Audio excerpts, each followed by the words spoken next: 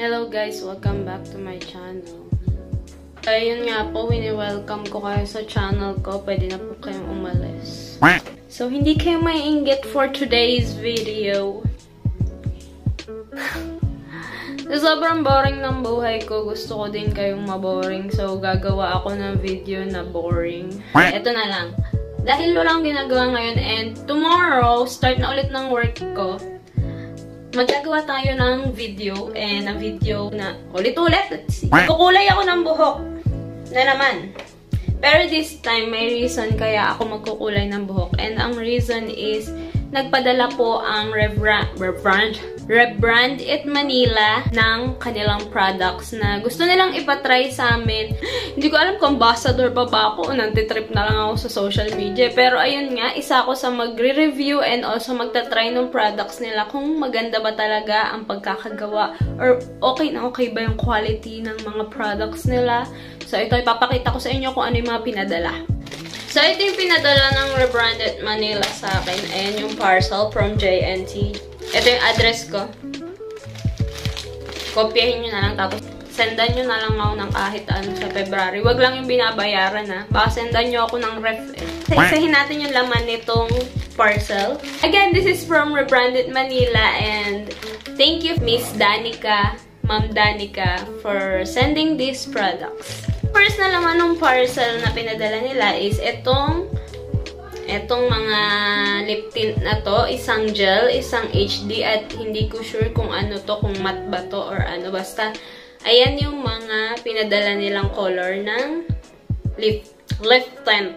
Yung isa peachy, yung isa HD number 5, and yung isa is gel number 2. Next is, ito naman, Ayan, shampoo and conditioner. So, nilagyan na ni Ma'am Danica ng ganito dahil nga magkukulay tayo ng buhok. And ito muna yung gagamitin kong shampoo and conditioner. So, next is ito, mga free niya na mga bandana and scrunchie. Hilig talaga si Ma'am Danica sa mga colorful colorful stuffs. So, ayan. Super ganda. Nagustuhan din siya ng Junakis. And the last product na pinadala nila is yung pinakang gagamitin talaga natin ngayon is ito sila. Ayan. Ito yung mga pinili kong kulay talaga. Yung pinakang bala ko talaga ipang kulay sa buhok is itong blue. So, since sabi naman ni Ma'am Danica is mamili kami ng dalawang color, ang pinili ko is itong blue and smoky. Yun. Dalawa sila and pares ko silang itatry ngayon. So, ayan, papakita ko sa inyo kung ano yung itsura nung consistency and also nung kulay niya sa loob. Ayan. Dahil nga pinili ko ay blue, ayan, blue. Wait, i-compare ko yung amoy nitong isa dito sa isa. Ito pala yung smoky, ganyan yung kulay niya. Based dun sa amoy, mas matapang yung amoy ng smoky. And yung amoy niya is maamoy mo pa rin na pangkulay siya. Sa normal na pangkulay, yung parang amoy oxidizer, ganun yung amoy niya. May naamoy yung parang amoy shampoo eh. Pero itong isa, matapang talaga yung amoy niya. Feeling ko naman, dahil parang color conditioner siya and semi-permanent siya, hindi niya madadry or hindi niya masisira yung buhok. So, unang pagtripan tong buhok ko habang hindi pa ako pumapasok sa trabaho, Gawin na natin to. So, ayan, umpisahan natin sa blue. Magko-cover lang ako ng basaan, tapos lalagyan ko din ng plastic yung kamay ko kasi ba mamaya kumulay. Hindi ko din kasi sure kung, kung makapit yung kulay nito sa kamay. Ilagay ako ng plastic sa kamay ko kahit alam kong ilang beses ko na-try magkulay ng ganito yung plastic sa kamay pero natatanggal lang siya. Pero wala akong magagawa kasi kailangan ko ng plastic. Break it down, yo. Ano ko is, itong blue, ilalagay ko banda dito sa ibabaw. Then, yung half niya is purple dito banda sa baba. Or yung smoky. So, try na natin kung work pa siya sa buhok ko dahil as you can see, hindi siya totally bleach na bleach. Mapapansin nyo, orange pa rin yung ibabaw ng buhok ko dahil isang beses ko lang to bleach. Pero tingnan pa rin natin kung magwa-work siya. So, ayun na po. Let's go!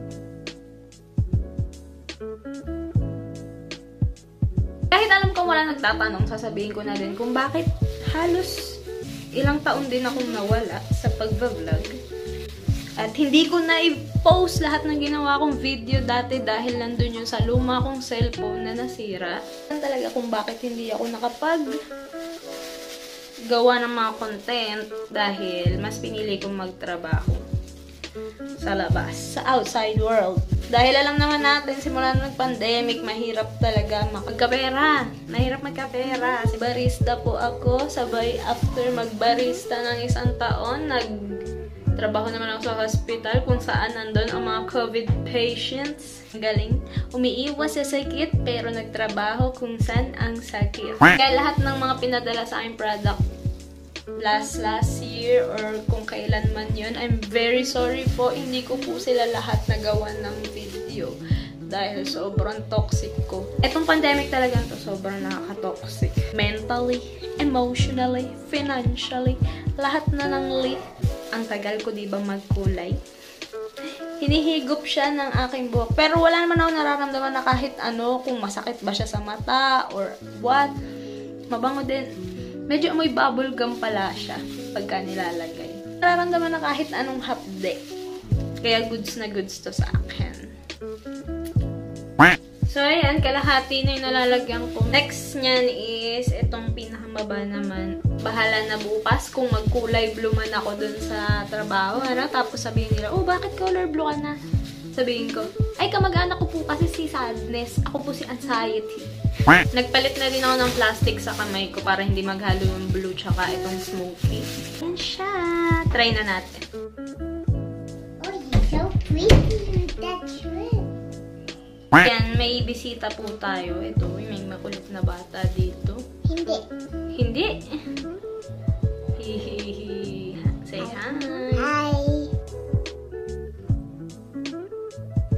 So, ayan na siya. Tapos ko na siyang lagyan lahat. Pag gantong mukha ka ng gusgusin, sure na yun na okay na. Ayan na siya. Lahat po may kulay na. And kung tatanong niyo kung may natira pa, ayan, meron pa pong natira and pwede ko pa siyang ulitin if ever na magustuhan ko yung magiging resulta nitong ginawa ko sa buhok ko. Na, siguro mga 30 minutes or 1 hour dahil hindi ko naman nararamdaman na masakit yung buhok ko and nagda-dry. Habang naghihintay tayo, alam ko wala din kayo pake kung ano ba yung mga brand na hindi ko na na-promote last year or last last year pero ipapakita ko silang lahat sa inyo. Para malaman din mga brand na nakita ko po yung mga sinend nyo pong product, andito po sila sa akin.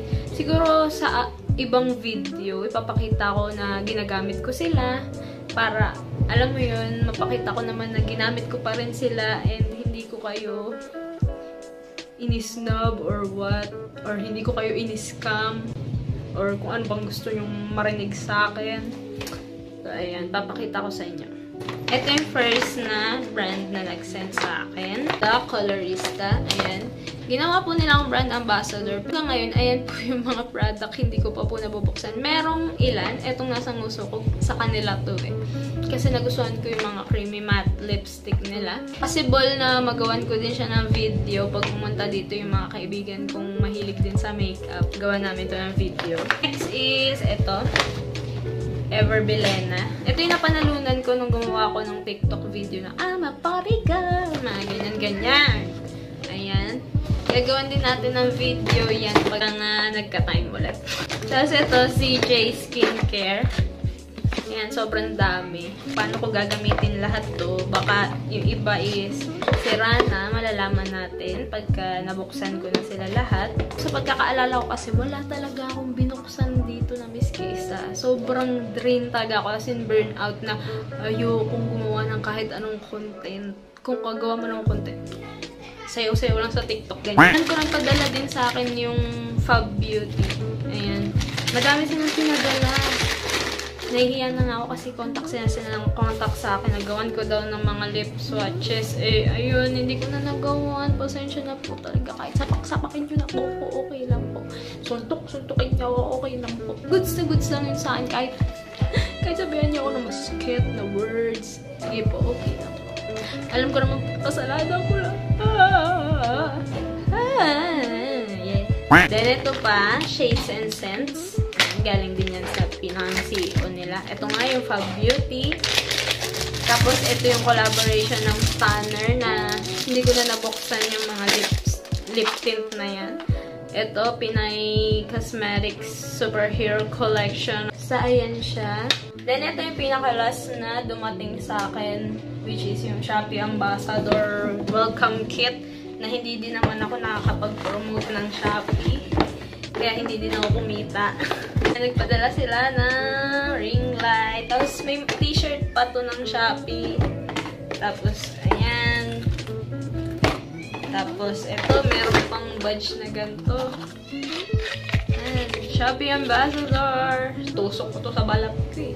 Ayan, thank you po sa inyong lahat na nagpadala. Hey guys, welcome to Mommy's vlogging time.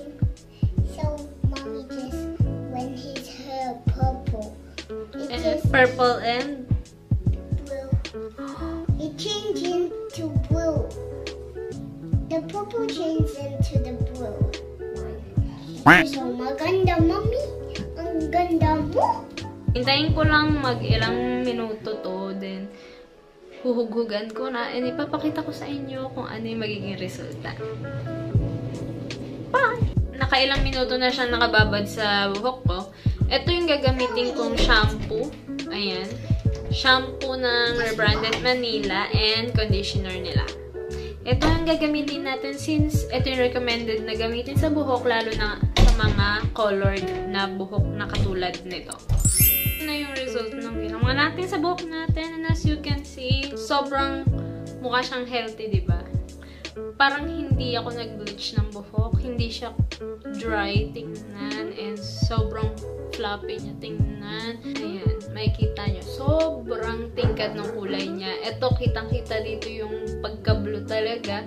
And as you can see, dito sa ibabaw, dahil nga hindi ako sobrang nag-bleach, hindi siya sobrang blue na ina-expect ko na katulad nung nandun sa packaging. Can see, nagbo-blue-green yung buhok ko.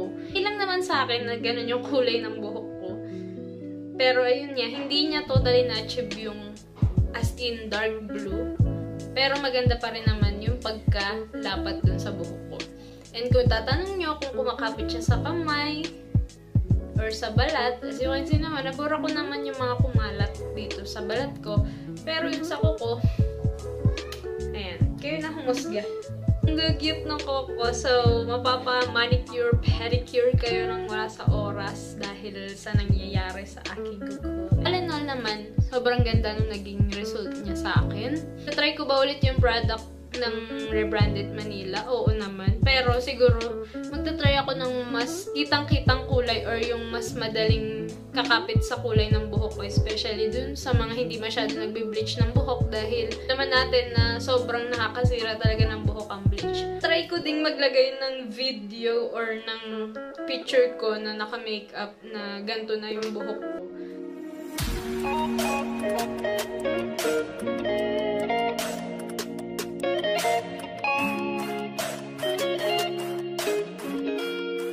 again guys for watching. If you like this video, don't forget to give it a big big thumbs up. Kung meron suggestion or gusto nyong gawin kong trip-trip na video dahil alam nyo naman, chill-chill lang tayo dito sa vlog ko. Ayoko na masyadong pag-iisip-isip yung mga content kong So yun lang guys. See you again next time. Bye! Love, love! Mwah.